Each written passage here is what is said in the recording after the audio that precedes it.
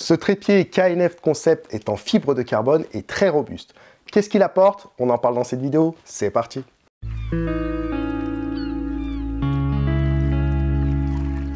Hello les amis, j'espère que vous allez bien. J'ai ce trépied X284 C4 depuis quelques mois. Je travaille avec et je vais vous donner mon avis là-dessus. Alors avant de vous parler du trépied, sachez qu'un trépied en carbone est plus léger qu'un trépied en aluminium. Il est aussi plus stable et résistant. Il est aussi plus durable dans le temps car il ne rouille pas. Donc j'ai déjà partagé du contenu sur d'autres trépieds en carbone et en aluminium sur ma chaîne. Si vous voulez voir les différences, vous pouvez cliquer sur l'historique des vidéos. Alors quand on choisit un trépied en carbone, ce n'est pas nécessairement pour avoir le trépied le plus léger du monde. Un trépied en carbone, en fonction de ses caractéristiques, peut avoir un poids important tout de même. Si celui-ci est prévu pour être utilisé souvent, par exemple, ou pour supporter du poids très élevé. Je me sers de ce trépied essentiellement pour la photographie immobilière. J'ai plusieurs trépieds et en ce moment, j'utilise celui-ci. Alors, on va parler dans un premier temps de son esthétisme, mais aussi de ses caractéristiques. Ce qu'il faut savoir, et ce qui est à noter particulièrement, c'est que ce trépied X284 C4 possède la nouvelle apparence de conception chez KNF Concept. Auparavant, les trépieds de la marque avaient ce, style orange euh, particulier sur les trépieds qu'on distinguait bien euh, pour la marque. Maintenant, on est sur un style euh, de couleur grise qui fait tout de suite plus moderne. Alors, il y a un élément orange uniquement sur le trépied. En fait, ça indique le modèle. Mais sinon, à part ça, le trépied reste très sobre. Ce modèle de trépied est composé de fibres de carbone à 4 sections. La rotule, elle, est en aluminium et a un plateau de type Arca Suisse. Donc Arca Suisse, c'est un plateau de type universel. Ça veut dire que si par exemple vous avez du Peak Design pour vos systèmes d'accroche, par exemple, ces plateaux sont tout à fait compatibles. Le trépied en lui-même est assez léger et facilement transportable. Alors il est livré dans une housse de transport, mais pour ma part, je n'utilise pas cette housse. Alors, je l'ai utilisé au début, mais j'ai préféré en acheter une autre. Euh, je vous en parle un peu plus loin dans cette vidéo. La housse de transport, c'est celle-ci. Vous voyez qu'elle est relativement petite et compacte.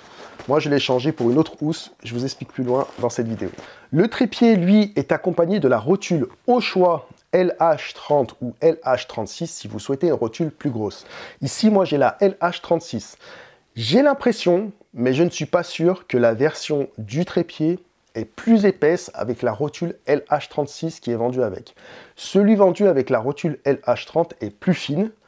Du moins, c'est ce qui m'a donné cette impression sur le site. C'est à vérifier tout de même, mais je trouve, en fait, bon après je trouve pas d'informations sur le site, mais en regardant les deux photos, en les comparant, j'ai l'impression que la, version du trépied vendue avec la LH30, les tubes sont plus fins sur le trépied. Alors je sais pas si c'est euh, l'angle de prise de vue ou alors la focale utilisée qui fait ça, mais en comparant les deux, j'ai l'impression que le trépied euh, vendu avec la LH36, eh ben, les tubes de trépied sont un peu plus gros, mais à vérifier tout de même. Au déballage du trépied, j'ai remarqué que les pieds étaient assez souples. L'ensemble est fourni avec des clés à laine pour serrer les pieds. Donc moi, en ce qui me concerne, je préfère les resserrer un petit peu plus tout de suite, car en déplaçant un pied, il peut se plier un peu légèrement sans, sans, forcément y faire attention. Je préfère les resserrer un peu plus tout de suite, car en déplaçant un pied, il peut se plier un petit peu plus sans forcément y faire attention et ça peut perdre un peu en stabilité. Donc de toute façon, il faut resserrer un peu les pieds de temps en temps pour assurer leur stabilité. Par contre, le système de repliage du trépied m'embête un petit peu. Alors certes, on gagne euh, de la place pendant le transport en fait, parce qu'en fait, euh, alors le système de, de pliage en fait du trépied est comme ça. Ça veut dire qu'en fait, en fait, quand on ouvre le trépied, voilà comment ça se passe. On ouvre le trépied comme ça, hop, hop. En fait, on, déplie les, pieds, et ensuite on a la colonne comme ça. Là, le trépied est opérationnel. Alors honnêtement, ça dépend de votre utilisation. Moi, ça m'embête un peu d'utiliser comme ça, en fait, à chaque fois, de remonter le pied à chaque fois. Moi, je préfère l'utiliser directement comme ça. Voilà. Je préfère l'utiliser, là, je peux l'ouvrir, directement il est opérationnel. C'est sûr qu'on gagne de la place pendant le transport quand les jambes sont relevées, mais moi je trouve que faire ça très souvent, ça devient vite contraignant. Alors après, ça dépend de votre utilisation. Hein. Euh, si par exemple vous, souhaitez utiliser ce trépied en voyage, euh, je ne pense pas que ça vous embêtera, euh, parce qu'au contraire, en fait, vous allez gagner de la place du fait de sa compacité quand il est replié sur lui-même de cette façon.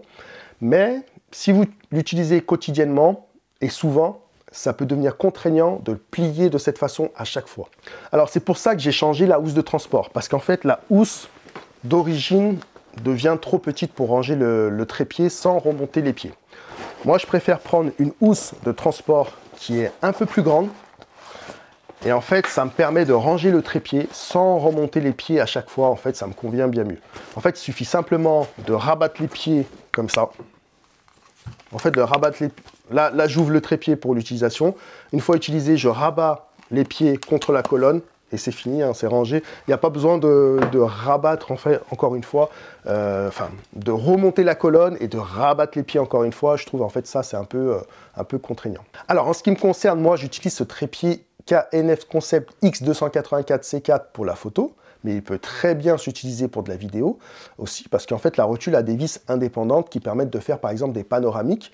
Mais voilà, si c'est pour une utilisation intensive en vidéo, peut-être qu'une autre rotule plus adaptée pourra mieux vous convenir. Après, c'est à vous de déterminer euh, en fonction de votre utilisation, c'est vraiment en fonction des goûts. Pour ma part, moi, je préfère les rotules ball. C'est pour mon utilisation actuelle, c'est beaucoup plus pratique. Pour vous parler ensuite de la taille et du poids du trépied, alors, ce qu'il faut savoir avec le trépied X284 C4, c'est qu'il est vraiment robuste. En fait, avec la rotule LH36, il peut supporter jusqu'à 16 kg de matériel. Alors, en général, c'est plutôt rare de mettre autant de poids sur un trépied, mais au moins, cela permet d'avoir beaucoup de marge et d'être sûr que le trépied, lui, supportera facilement le poids qu'on lui mettra. Le trépied, lui, est en fibre de carbone. Il, devrait être très léger, mais comme il est robuste et possède 4 sections, il pèse un peu plus lourd. Son poids est de 1,760 kg, monté avec sa rotule. Donc, euh, comme il est en carbone, c'est plus léger qu'un trépied en aluminium pour un modèle robuste équivalent. C'est normal parce qu'en fait, le plus gros tube du trépied a un diamètre de 28 mm et jusqu'au plus fin. Euh, donc ça veut dire le, le trépied, enfin, la section la plus petite possède un diamètre de 19 mm de diamètre. Donc pour le plus petit, c'est-à-dire euh, la dernière section avec le bout en caoutchouc.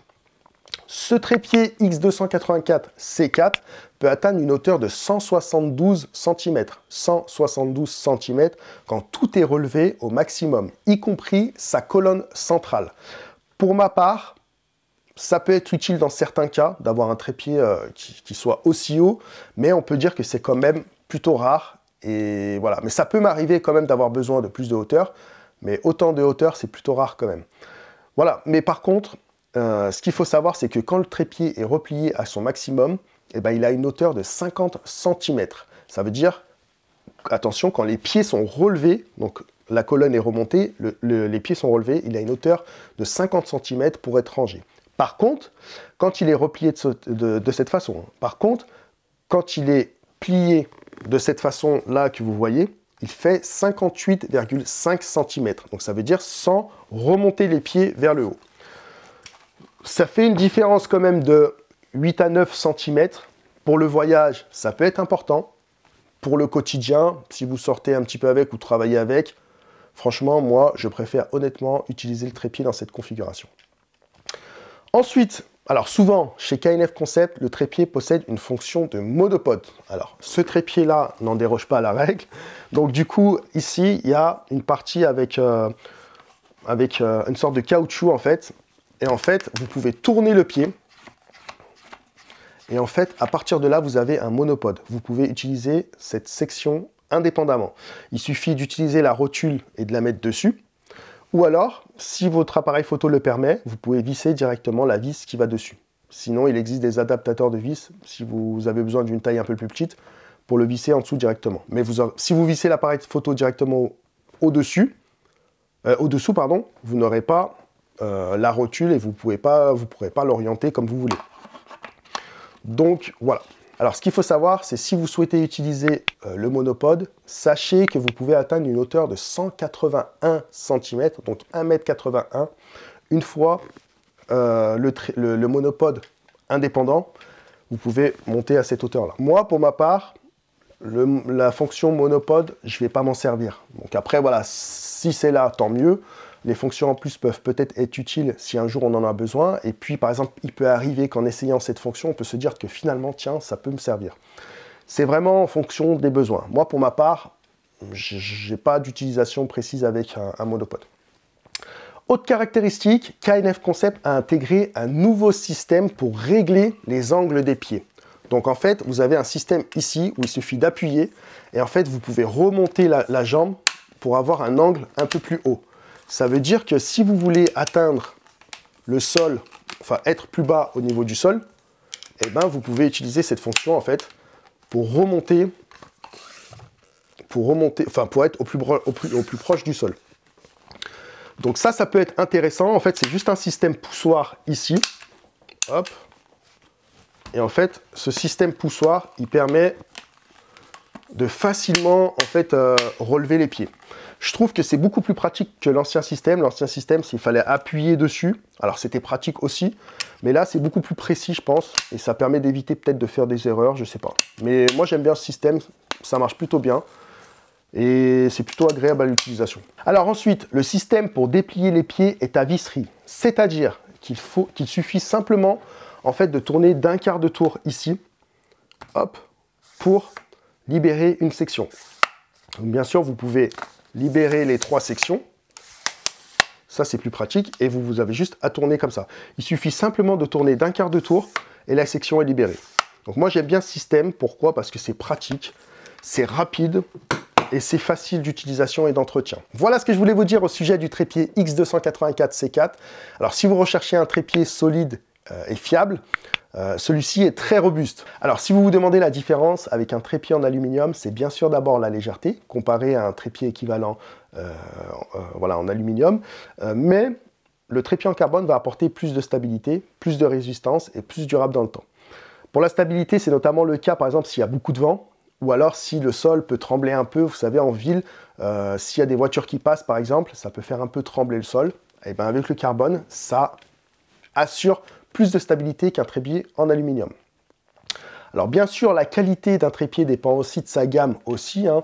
Euh, par exemple, euh, ici pour ce trépied X284 C4, moi pour moi, je le classerais plutôt dans un trépied de moyenne gamme. Donc assez qualitatif tout de même pour son prix.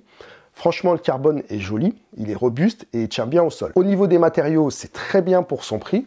Après, c'est sûr que si on le compare à un trépied haut de gamme qui fait 5 fois son prix, franchement, on va trouver des différences. Mais voilà, ça fait 5 fois son prix quand même. Ici, le trépied, franchement, il fait le job comme il faut. Euh, c'est ce qu'il faut retenir. Voilà, voilà les amis, merci d'avoir regardé cette vidéo. Vous avez un petit code promo dans la description si vous souhaitez acheter euh, le trépied euh, sur le site Kenfet. Donc vous avez, vous avez juste à cliquer sur le lien et vous avez le code promo ensuite à renseigner. Merci d'avoir regardé cette vidéo. N'oubliez pas de mettre un petit pouce vers le haut pour me soutenir et de vous abonner si vous voulez découvrir les prochaines vidéos. A plus les amis